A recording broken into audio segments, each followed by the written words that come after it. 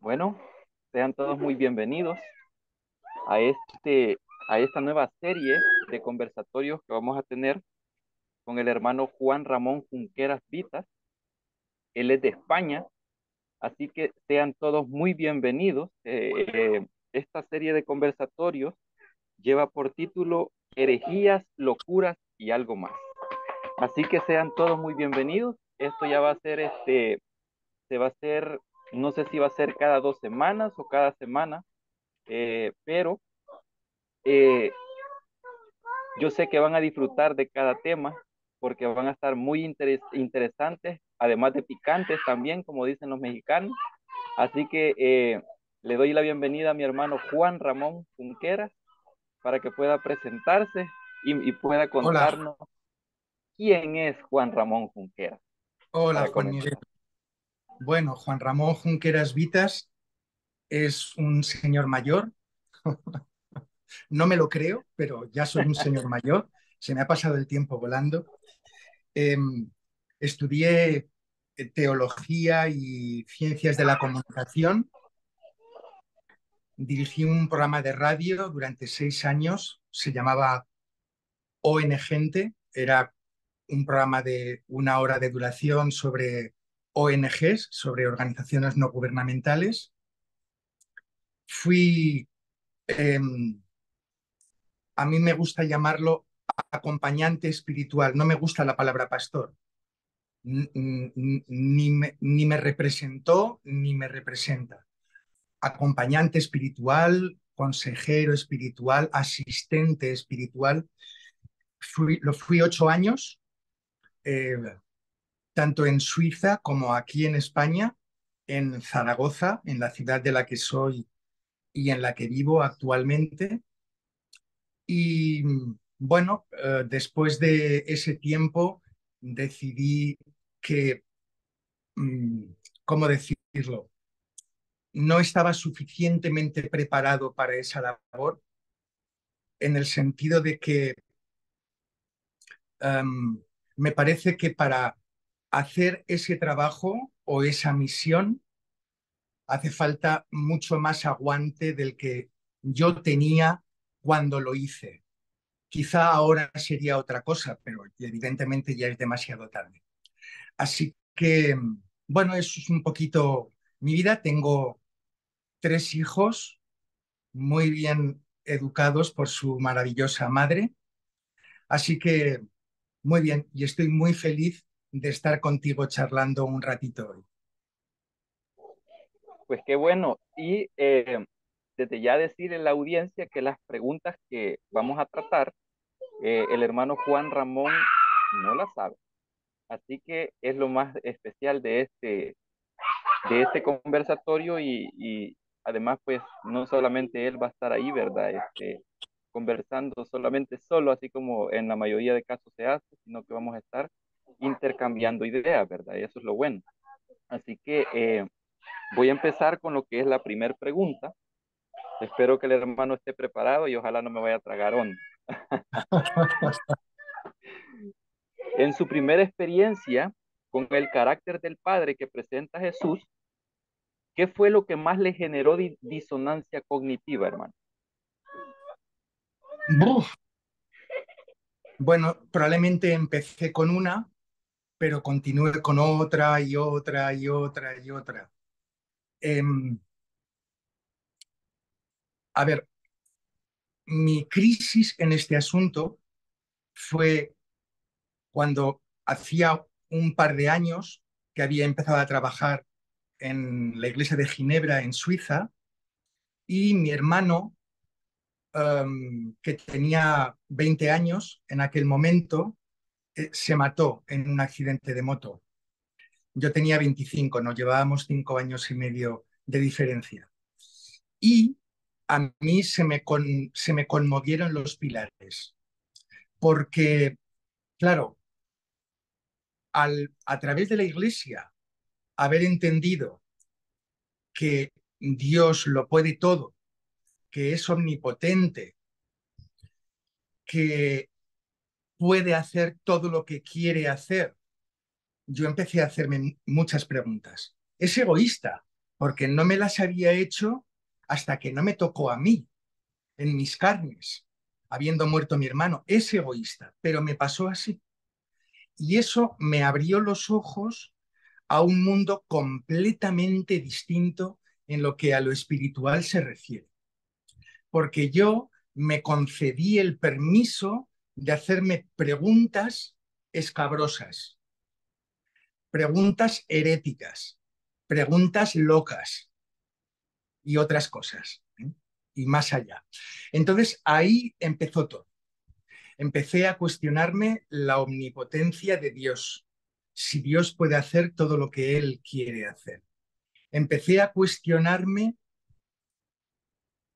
el Dios gruñón, como yo, que soy el jesuano gruñón, pero yo soy yo, soy un ser humano y tengo derecho a gruñir porque va en mi naturaleza enfadarme, como todos. Pero, ¿se puede enfadar Dios? ¿Se puede airar Dios? Y por lo tanto, puede reaccionar de una forma que algunos llaman justa, yo llamo salvaje, eh, mandando un diluvio que arrasa la práctica totalidad de la creación suya. Es una locura. Entonces, yo empecé a darme permiso para hacerme esas preguntas. ¿no? Y ahí es donde mi relación con Dios cambió y se convirtió en un compañero, en un compañero en el que puedo confiar para que cuando tenga una pregunta que yo no entienda, pueda hacérsela. Claro, no se la hago a él directamente, porque mi contacto con Dios no es así. Dios no me habla, pero puedo hacérsela a través de la Biblia. Bueno, esto que estoy, e, es esto que me ha traumatizado, yo puedo encontrar una respuesta en la Biblia que se amolde más al carácter del Dios que me presenta Jesús? Y esa es la cuestión. Entonces aprendí a pasar el filtro de Jesús a todo lo que me parecía disonante con su vida. Vale, Jesús está muy claro cómo es en los evangelios, lo que dice, lo que piensa, cómo es, cómo vive, su forma de ser. Vale, con ese filtro yo aprendí a pasar todo lo que no me cuadraba con lo que me contaban de él los evangelios. Y entonces empecé a intentar encontrar soluciones a esas disonancias. Ahí empezó todo. Es bien interesante lo que dice porque cada persona con la que he hablado yo, incluso personalmente, lo que más le, le, le ocasiona ruido es cuando eh, dice, o sea, ella misma dice, si nosotros tratamos de interpretar lo que es la escritura así por Jesús y filtrarlo por ese carácter que él presentó, tenemos que desechar casi toda la Biblia, dice. O sea, ellos mismos dicen y afirman de que ya no tenemos que creer prácticamente en casi la mayoría de la Biblia. Pero yo les digo, en realidad lo, de lo que se trata es que nosotros analicemos cada aspecto y cada asunto del cual se trata en la Biblia, porque no a todo le podemos decir amén. Eso es lo que les digo. Pero hay personas que cuando entran en este asunto, ellos piensan de que, de que todo esto es una herejía prácticamente y no se debe de hacer. Porque la Biblia es la Biblia y como ellos mismos dicen, es la palabra de Dios cuando él mismo dijo, yo soy la palabra, o sea, yo soy. Claro, claro. Es más, eh, se podría decir que la Biblia contiene palabra de Dios. Está ahí la palabra de Dios, pero hay más cosas. Y ahí tenemos el problema. Porque la Biblia fue escrita por seres humanos que no eran impecables y por lo tanto el contenido de la Biblia, aunque haya sido revelado, no es impecable tampoco. No es inerrante. Y hay muchísimas emociones humanas involucradas en el contenido de la Biblia. Y por lo tanto yo siempre digo, la Biblia es palabra de Dios, pero no soy. Mira, eh, hace ya muchos años, cuando mi hijo pequeño, que ahora tiene 22, tenía 8, mi familia, mis tres hijos y Esther, mm, pasaron una temporada de nueve meses en Malta, en Malta, al lado de la península itálica, mm, para aprender inglés, hacer un curso entero, un curso de primaria en inglés. Yo me quedé aquí. Claro, tenía que trabajar eh, en mi empresa. Eh, yo por aquel entonces tenía una, una empresa de reformas y eh, era el empresario y por lo tanto no podía marcharme como quería. Los visité cuatro veces durante ese año, ese curso escolar, pero yo me quedé aquí. Cuando volvieron, Aarón, el pequeño, ocho años, me dijo, eh, papá, eh, fue una pregunta, eh, papá, en Malta me han enseñado, porque ellos, los, los, los tres chicos, em, acudían a una escuela evangélica, en inglés, evangélica. Entonces, claro, tenían también asignaturas, digamos, religiosas, espirituales, ¿no? Y él me preguntó, en Malta me han enseñado en la escuela que Dios mandó el diluvio y mató a toda la gente menos a pocos, él por aquel entonces no recordaba que fueran ocho los que fueran, eh, mató a, o sea, mató a todos menos a unos pocos y dijo él, pero es que no lo entiendo. Es así, papá. Y yo estaba con una sonrisa cómplice, entendiendo que ya con ocho años iba por buen camino. No estaba entendiendo eso, mi hijo pequeño. Y entonces le pregunté, ¿y por qué te parece raro? Con esa sonrisa cómplice. Y él me respondió, fíjate, me parece raro porque no sé si soy malo, tú lo harías conmigo.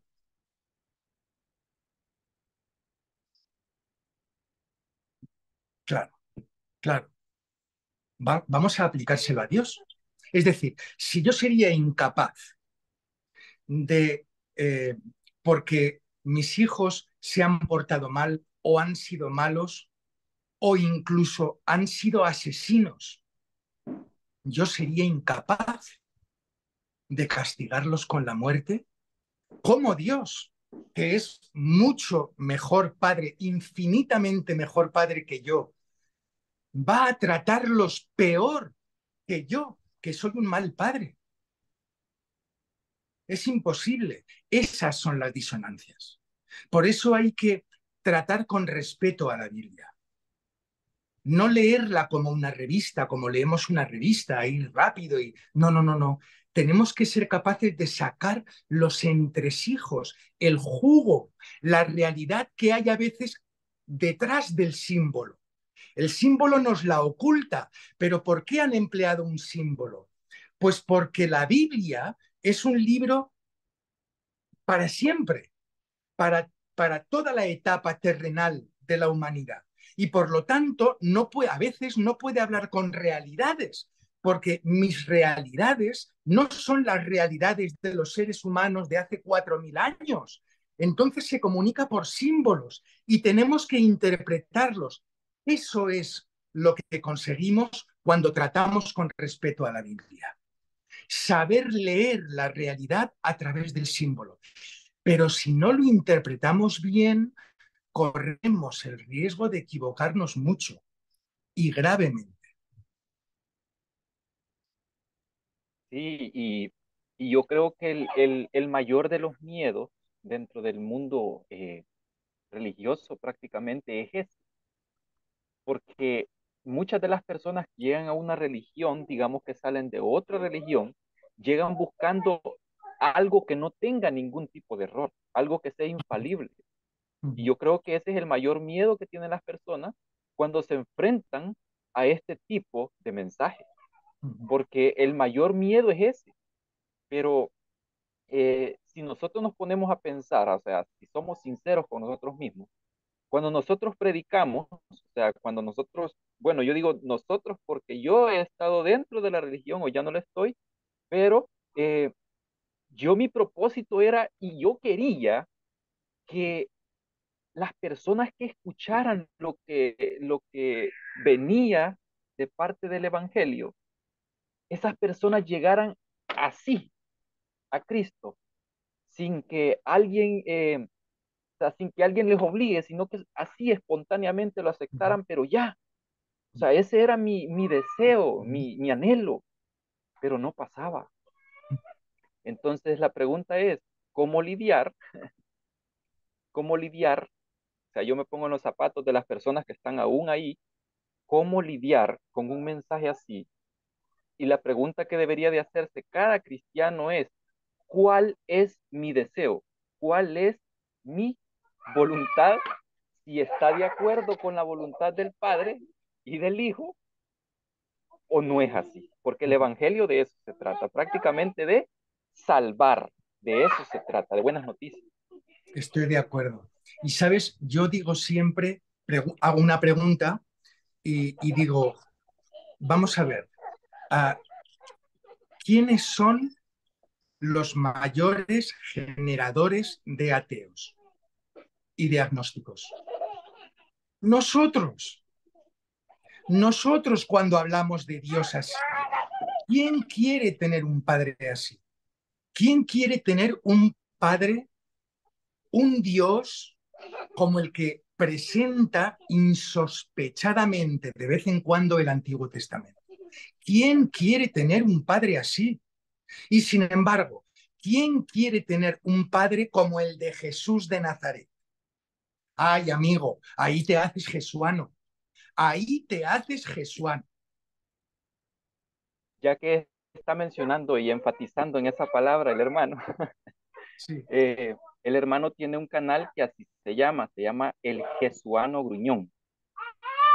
Y eh, desde ya les invito pues que si no se han suscrito al canal de él, pues que lo hagan porque tiene varios temas, eh, aunque son cortos, pero muy buenos. Así que, y también pues predica lo que son las buenas noticias. Y él pues eh, está trabajando en ello, aunque eh, hace rato pues había abandonado el canal, pero ya volvió y hoy quiere pues darle con todo, como decimos en El Salvador. Sí, sí, sí, voy a intentarlo al menos. aunque aunque yo nací analógico y para mí es a veces complicado, me esfuerzo, ¿eh? porque cuando quiero hacer una cosa intento conseguirla.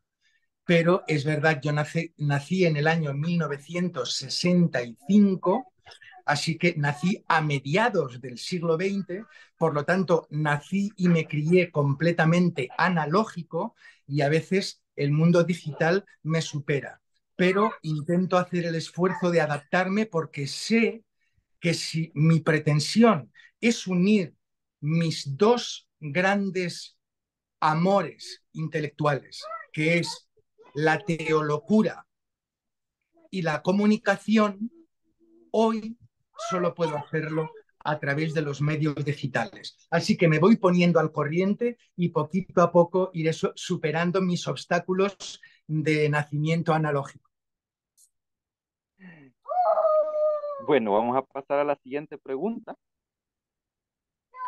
¿Cómo llegó a la conclusión de que el Eterno restaurará todo? Ay, pues mira, son son, uh, ¿cómo decir? Ramitas del mismo olivo. Todo parte de lo mismo, de las disonancias, de las disonancias de esas formas de pensar con la forma de actuar y de ser y de hablar que tenía Jesús de Nazaret. Te digo, y creo que es importante meditar en esto, tú te imaginas a Jesús de Nazaret mandando el diluvio? ¿Tú te imaginas a Jesús de Nazaret, él, él, mandando fuego del cielo contra Sodoma y Gomorra? Para nada. ¿Tú te imaginas a Jesús de Nazaret matando inmediatamente a Ananías y Zafira? ¿Te lo imaginas matando a Uza por haber intentado salvar el arca? ¿A que no? no? Bueno, pues entonces, si usamos el filtro de Jesús, ¿tú te imaginas a Jesús porque esas personas no lo han conocido o no han querido aceptarlo o las personas que le han hablado de él le han hablado de una forma incomprensible para ellos, han rechazado y entonces Jesús, su solución es matarlos matarlos para siempre. Pues tenemos, tenemos un momento en el Evangelio en el que Jesús está encarnando esa oportunidad. Y es cuando pasan por aquel pueblo de Samaria y Santiago y Juan, cuando ese pueblo los rechaza, los echa de allí, le dicen, Señor, ¿envías fuego del cielo para matarlos a todos? ¿Y qué les dice Jesús? No habéis entendido nada. No sabéis de qué espíritu sois. Cambiad de mentalidad. ¿Es que no me conocéis ya? ¿Y a través de mí al Padre? No puede ser. No, no. Jesús y, y, por lo tanto si Jesús es el representante de nuestro Padre, es el enviado de nuestro Padre para que podamos conocer a nuestro Padre, si Jesús es esa persona y reaccionó así ante un rechazo, déjalos tranquilos, no pasa nada. Significa que nuestro Padre en el último momento va a arrasar nuestra vida. No solo eso, es que no conforme con eso, no teniendo suficiente con eso, una vez muertos miles y miles y miles de millones de personas que habrán vivido en este planeta durante toda su historia, cuando llega el final, esas personas que estaban muertas ya supuestamente habían recibido su castigo, la paga del pecado es la muerte, pues ahora con no teniendo suficiente con que esas personas hubieran muerto hace 20, 50 años, 5 siglos o 50 siglos, da igual, ahora va Dios y los resucita para poder volver a matarlos no puede ser, me explota la cabeza. Si Dios es así, yo prefiero que cuando yo muera, no me resucite. Ni para perderme, ni para salvarme. Porque de, de un Dios así, yo no podré fiarme jamás en toda la eternidad. Y es que no se puede tener confianza en un Dios así, es por demás. Claro. Porque realmente si nosotros, o sea, siendo seres humanos, o sea, con debilidades, con errores, con fracasos, con éxitos de todo, nosotros incluso cuando nuestros hijos se equivocan o algo así, o sea, nosotros no vamos y decimos, te voy a matar por lo que hiciste. O sea, es algo ilógico el pensar de que el padre pueda actuar al final de esa manera tan atroz. O sea, es que yo siento que hay mucha, mucha mitología en el aspecto de, de, esas atrocidades que hay en el Antiguo Testamento. Yo siento, yo siento que hay demasiado. Y lo otro es que posiblemente, esto no es que yo le esté eh, argumentando para que sea, se dé por absoluto, sino que posiblemente habían personas ahí en el Antiguo Testamento y, por cierto, el escritor trató de dar a entender de que todas las cosas que estaba generando el ser humano se las atribuían al Padre. Y eso es algo muy duro. Pero mira, el ser humano o la tierra misma. Fíjate, ante el diluvio y Sodoma y Gomorra, es interesantísimo cómo los trata Jesús.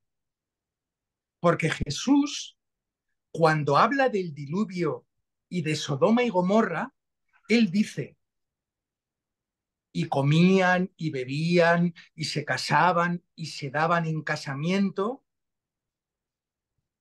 Y llovió, no, perdón, y vino el diluvio y se lo llevó a todos. ¡Oh, qué inteligente!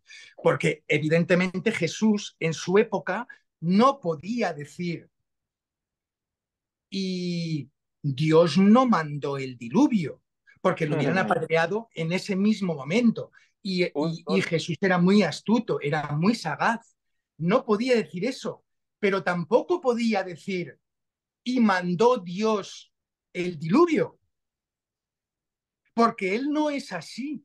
Así que dijo, y llovió, y vino el diluvio, y vino el diluvio. Leedlo en vuestros evangelios, esa sutileza, esa inteligencia de Jesús.